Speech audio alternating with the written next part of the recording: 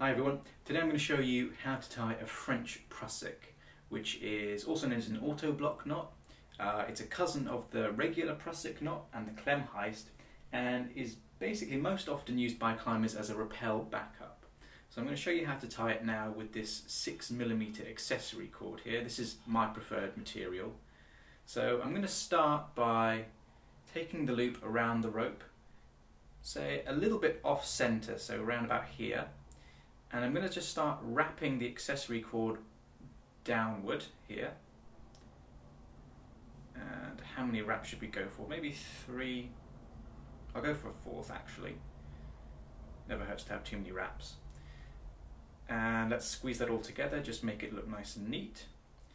And as you can see, I've got these two kind of tails here, which I'm going to put together. And then I'm going to go in with a locking carabiner, like so.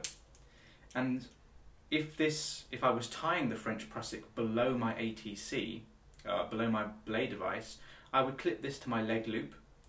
And the thing about it is, when you're feeding rope through the belay device, you're lowering yourself down the crag.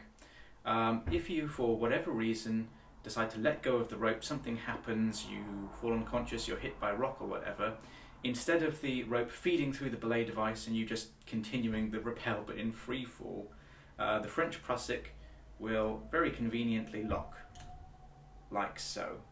And it's kind of basically a third hand on the rope. Um, and that's why it's called a rappel backup.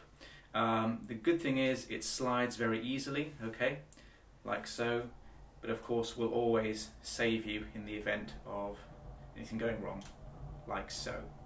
Now you may be wondering, well, we've done videos on a Prusik knot, we've done videos on the Klemheist knot, why are you showing us the French Prusik?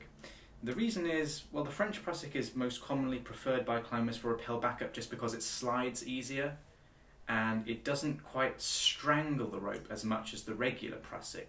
It doesn't quite choke the rope as much. So Prusiks and Klemheists are more for ascending the rope, uh, even though they can be used as rappel backups, but the French Prusik is more sort of casual, it's easier to manage, um, and it's easier to tie as well.